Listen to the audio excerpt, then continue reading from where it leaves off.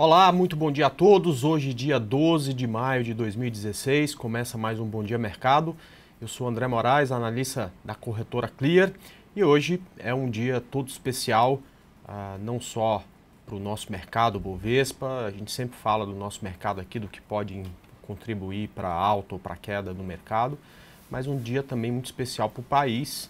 É, foi aprovado agora há pouco a, o processo de impeachment na, no Senado, né, às 6h34 da manhã, na verdade. É, e dessa forma o processo vai ser analisado pelo Senado, mas é, daqui a pouco já teremos o final desse governo Dilma, pelo menos um final temporário, e o início do governo Temer, o que pode mudar muito a situação tanto política quanto econômica aqui no Brasil. E por isso é de se imaginar que a gente que teremos aí forte volatilidades também no mercado, mas uh, enfim é o fim de uma era para o início de uma outra e a gente espera aí uh, sucesso para essa nova era, para esses novos governantes e que eles possam tirar principalmente a gente dessa crise tanto política quanto econômica que o Brasil enfrenta, perfeito? Bom, uh, como eu falei, hoje é um dia de forte volatilidade. É claro que o mercado amanhece um pouco empolgado, né? Sempre você tem aí na abertura de mercado a opinião dos amadores. Ele amanhece aí com a alta de cerca de 1% é, em relação ao fechamento de ontem. Em relação ao fechamento das 5 da tarde, que é mais importante, o mercado está subindo aí cerca de 350, 400 pontos que daria uma alta para o Ibovespa na abertura se ele abrisse agora de inferior a 1%. Né? Porém, não era isso que o mercado é, iria precificar a partir de hoje, e sim as decisões que serão tomadas pelo novo presidente e também pela sua equipe econômica. As novas decisões pelo presidente que pode dar um bom embasamento sobre o futuro da política. É muito importante nesse processo que você, essa crise política acabe. Né? Isso, imagino eu, que se for é, bem administrado fará também bem para o nosso mercado de ações. Né? Além disso, você tem também as variáveis sobre a política econômica que serão muito importantes. Então, quais os caminhos que serão adotados na parte econômica uh, a partir de agora, né? Se vamos ter aumento de impostos, se vamos ter baixa ou alta de juros, como é que vai ser feito o controle da inflação, uh, o que vamos ter de corte, como é que vai ser a nova política fiscal, enfim, tudo isso que acho que será extremamente importante ou é, é, é essa solução da política econômica e também é, essa questão de como vai ser feita a nova política, né, que vai ditar os rumos para o nosso mercado a partir de agora, perfeito? Então eu acho que é extremamente importante a gente ficar atento para essas variáveis e a variável impeachment acabou, tá ok? Então o que tinha que vir de alta ou de queda por conta disso já aconteceu. Essas variáveis que vão, ah, ah, acho que ditar o rumo do nosso mercado a partir daí, né? Ontem aqui e também lá na sala de análise da Clear, né, eu tentei colocar todo mundo com o pé no chão, né? A gente às vezes fica muito eufórico com algumas notícias, às vezes também temos medos é, de algumas situações, mas é importante lembrar que o que a gente tem que fazer sempre, em qualquer momento, mesmo, mesmo nos momentos mais turbulentos, é seguir a nossa estratégia, perfeito? Então, a, a, minha estratégia é pautada em gráfico, é claro que não podemos ser alienados, a gente tem que entender muito bem tudo que está acontecendo dentro e fora do mercado para que a gente possa, para que isso possa ajudar a gente a tomar as melhores decisões. Mas é muito importante a gente ficar focado nos gráficos justamente para uh, ah, que a gente possa, uh, em cima desses gráficos, tentar tomar as melhores decisões. Então, antes de mais nada, aliás, depois de falar tudo isso, eu queria é, dar uma olhada exatamente no gráfico do Ibovespa, porque ele que acredito eu vai ditar aí uh, a regra para os próximos dias. Primeiro, na segunda-feira, nós tivemos uh, um, um, mercado, uh, hoje é quinta-feira, né? o mercado não abriu, então, então é segunda-feira mesmo. Um mercado aí que deixou um sinal extremamente comprador, né? Sempre que você tem uma sombra inferior no gráfico, mesmo que não tenha ficado um corpo real pequeno nesse dia ou nesse candle, né? Que na verdade não é um martelo, né? O martelo tem um corpo real pequeno e um, uma sombra aqui embaixo, pelo menos três vezes o tamanho da sombra anterior, sempre que você tem esses sinais, você tem também ah, uma grande possibilidade de ter, ter alta no dia seguinte, né, ou nos dias seguintes, e o mercado passar por uma correção. Né? Se formos observar, a gente encontra esse candle com uh, esses candles com forte sombra inferior em alguns momentos relevantes, inclusive na mínima aí dos 37 mil pontos, perfeito?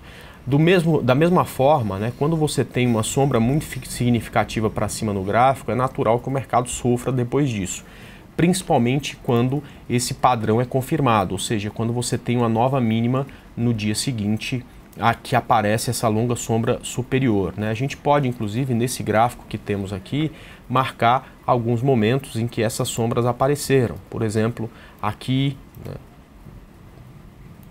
por exemplo, aqui, por exemplo, aqui, por exemplo, aqui que não foi confirmada. No dia seguinte a gente teve continuou tendo alta, né? Por exemplo, aqui, por exemplo, aqui, tá certo? Então, quem trabalha no curto prazo, né, vamos, vale a pena ficar muito aqui. Também não teve confirmação, né? Teve essa esse candle com sombra superior grande, mas no outro dia já amanheceu subindo. É muito importante, portanto, né, a gente ficar atento exatamente como é que vai ser o desempenho a partir da abertura para justamente a gente ter uma indicação mais forte se vamos passar por uma correção a partir daqui ou se isso aqui vai morrer já na abertura, o mercado vai amanhecer subindo, romper o topo dessa sombra aí e continuar a subir. Então, muita atenção para essa abertura, eu acho que isso vai ser fundamental para que a gente entenda aí como vai prosseguir é, a tendência nos próximos dias, perfeito? Bom, além disso, pessoal, é, tem uma linha muito significativa que eu falo dela todo dia para vocês aqui e vou continuar falando porque é, se na política já temos aí o nascimento de uma nova era, né, de um novo momento, teremos um novo momento de mercado o dia que essa linha for rompida. Eu mostro todo dia para vocês, essa linha aí é uma linha de tendência de baixa do gráfico semanal, até você pode colocar essa linha no gráfico mensal, e essa linha se rompida traz para a gente um novo mercado. Né? Quando uma linha de baixa de tanto tempo é rompida, que já foi tocada tantas vezes é rompida, você tem o início de um novo mercado e provavelmente uma possibilidade de alta forte aí para os próximos momentos que podem durar semanas, que podem du pode durar meses ou até mesmo durar anos, né? Então essa região de 56 mil pontos é uma região que é uma muralha uh, de concreto, tá certo? Difícil de ser ultrapassado, portanto muito cuidado com as operações de compra nessa região e também é, a gente precisa ficar muito atento se essa região for rompida, porque acredito que aí vai, a gente vai embarcar em operações que irão ter uma longa duração, não mais operações que a gente começa na segunda e acaba na quinta, acaba na sexta, porque são operações mais curtas, perfeito? Então esses pontos aí para mim são os mais importantes para serem observados a partir de agora, tá? É, eu queria também dar uma olhada no gráfico de 60 minutos é, do, desse, desse Ibovespa, tá? Chama, chamou muito atenção ontem na parte da manhã esse candle aqui, que também é um candle que a gente entende chama de estrela cadente, perfeito? Mostrando uma possibilidade é, de, é, pelo menos, correção do movimento em andamento. Até tomamos uma boa decisão após isso, né? A gente fez no índice futuro uma operação de venda com alvo em 53.110 pontos. Ele acabou fechando a 53 mil 160 pontos, a 50 pontos do nosso alvo e deixando um ganho para a gente aí de quase 800 pontos. Bom, mas após essa correção, né, o preço chega nessa região de médias móveis. Então, se a gente estiver falando de um prazo ainda menor, né, fique muito atento com essa linha aqui, tá?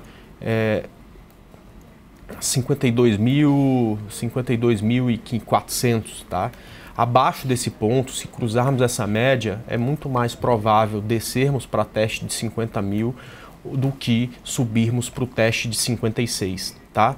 Então, eu hoje, né, no pregão de hoje, né, sem nenhuma emoção de impeachment e de qualquer outra coisa, né, isso deixa para a gente fazer no Facebook, nas redes sociais, fora daqui com a família, ficaria atento a esses dois pontos que estão marcados, tá? O primeiro, que eu já falei, 52.400 pontos. Abaixo disso, o mercado tende a ceder um pouco mais, portanto, a partir daí, muito cuidado com as suas operações compradas, tá ok? E muita atenção também para as possibilidades que vêm de venda. E se ganharmos força e continuarmos a subir, é, o rompimento de 53.550 pontos indica aí o mercado vindo muito mais para cima, né? É, eu sempre respondo perguntas aqui como você acha que Petro vai subir hoje, você acha que não sei o que vai subir hoje e tal, e eu sempre falo o seguinte: a, a gente pode achar qualquer coisa, mas o mercado não está nem aí para isso, né? É, eu não tenho o poder de prever o futuro, infelizmente ninguém dos que assistem aqui tem esse poder de prever o futuro. Eu, particularmente, acho que o mercado vai continuar a correção que iniciou ontem, perfeito? E, portanto, muito provavelmente, se o mercado cair, as minhas posições serão maiores, a minha vontade de vender vai ser muito maior do que se o mercado subir. Mas se o mercado subir, a gente também tem que ficar focado em descobrir onde são os pontos importantes para que eventualmente a gente entre na compra.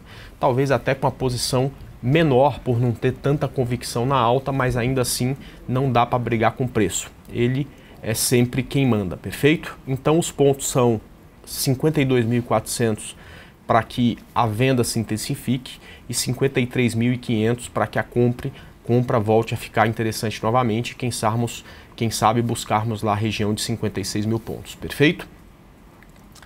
Bom, é, já são ah, 9 horas e 20 minutos e eu vou, a partir de agora, olhar alguns ativos que vocês eventualmente queiram pedir, tá? Ixi, peraí que eu fiz uma besteira aqui. Eu não comecei a, a transmissão ao vivo aqui na, no canal, mas já faço isso aqui.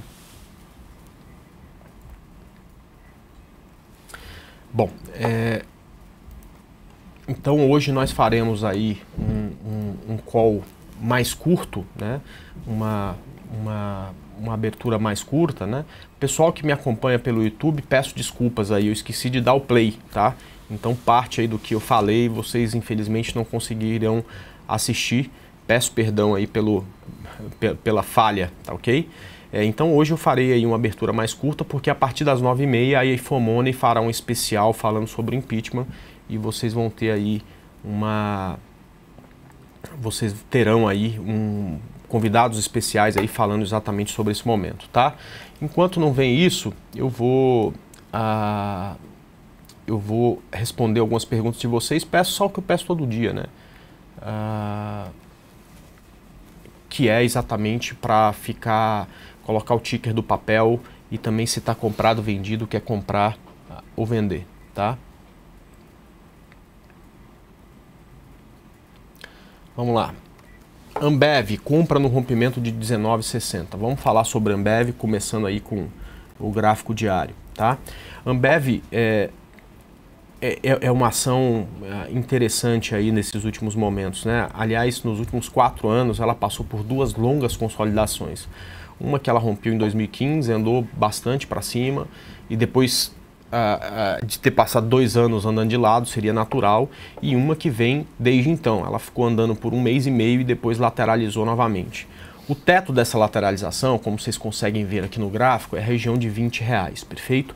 Antes disso, o Coxinha, existem pelo menos aí umas 10 resistências no meio do caminho. Então eu não gosto de, de, de vir no mercado ou entrar na operação é, para ganhar pouco. Né? A gente precisa aí que essa operação tenha alvos longos. Então eu realmente não acho interessante de forma nenhuma a gente pensar de, em compra aí em Ambev até o rompimento desses 20. A hora que ela romper esses 20, pode me chamar. Se eu estiver dormindo, inclusive, pode acordar, porque eu acho que aí sim ela fica muito interessante. A princípio, né, o nosso stop é, seria ah, abaixo de 18,90, mas nós iremos é, é, rever esse stop quando acontecer esse rompimento. Né? Esse ponto aí foi colocado muito lá atrás, né? E, e eu ah, é, a, o preço depois disso já corrigiu, já furou inclusive esse ponto de stop, tá? Mas eu só acho interessante essa compra no rompimento aí dos 20.00, perfeito? Comprado em SUSB 5. Pois é, SUSB 5 está fazendo uma espécie de reversão de tendência, né? muito bonito por sinal. Eu, eu é, sigo a, a, minha estratégia à risca, né? então eu falo que cada estratégia é como uma receita de bolo, né? Você vai só seguindo. Você primeiro tem que ter os ingredientes, que são para o nosso mercado, né, as técnicas para definir uh, se tem tendência de alta ou de baixa, ponto de compra, stop e tudo mais, e depois tem o modo de preparo, né, então eu sigo a risca uh, a, a, alguns detalhes. Né, e o detalhe que me faz acreditar numa reversão de tendência e, portanto, comprar, que é muito importante, é que o difusor tem que estar cruzado para cima, ou seja, essa linha laranja tem que ter cruzado a linha preta para eu imaginar que vem uma reversão forte no papel. Né? É, por enquanto a SUSME não tem isso, até por isso eu não dei essa recomendação de compra. Né? Se fosse ter dado essa recomendação, já era para comprar desde que rompeu 13,80, perfeito? Mas para quem entrou na operação, ok, vou até torcer para ela não, nem voltar para me dar o trade, ela pode uh, continuar subindo, tá? Mas eu acredito que um stop abaixo de 13,90 já seja suficiente para ver aí os próximos movimentos aí do papel, tá? Vamos lá. RADL3, RADL3.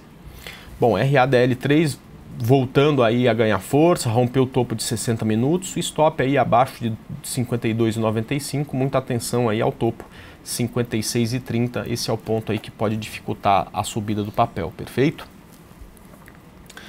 Como faz para adquirir a primeira edição do seu livro? Bicudo, obrigado aí. É, e a primeira edição do livro, ela vai ser, a gente está fazendo mil cópias, tá? Essa primeira edição vai estar tá à disposição é, entre dia 15 de junho e 30 de junho. Mas a partir de semana que vem, a gente vai começar a vender o livro, né? Por um preço simbólico, ele vai custar R$ reais. É, na verdade, o livro é gratuito, né? A obra é gratuita. Esses R$ reais foi o custo que a gente teve para imprimir, vai ter para manusear isso, né? Trazer da editora para a Infomone, enviar para o correio e o custo também aí de envio para vocês, tá?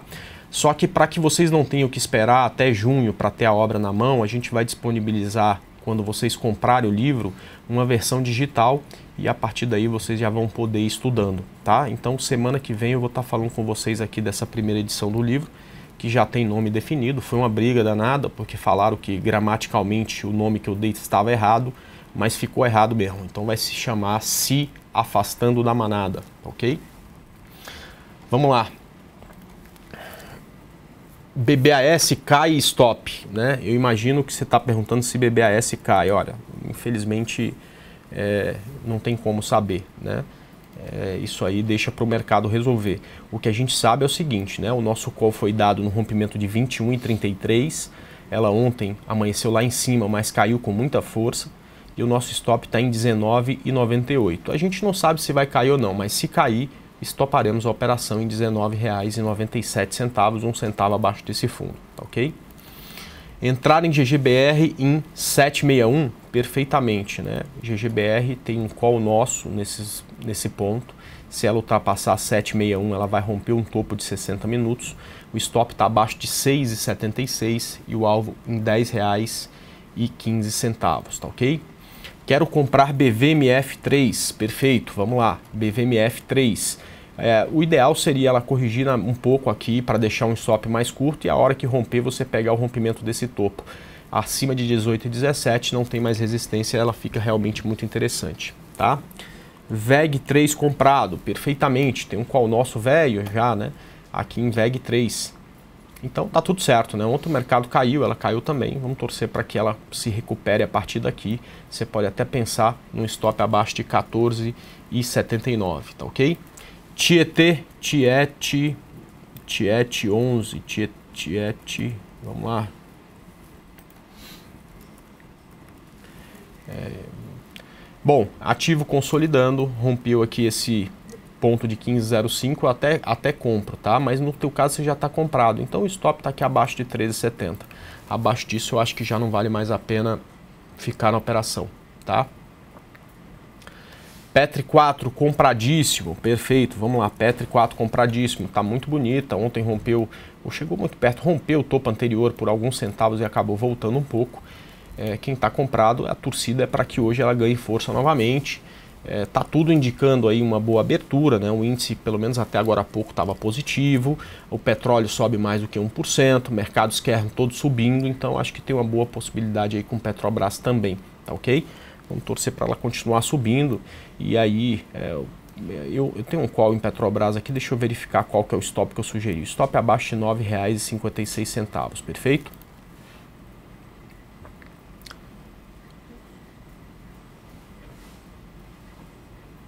É, o, o, como cadastrar para compra do livro, é, só semana que vem, mas semana que vem eu passo para vocês aí. Gente, são mil cópias, né?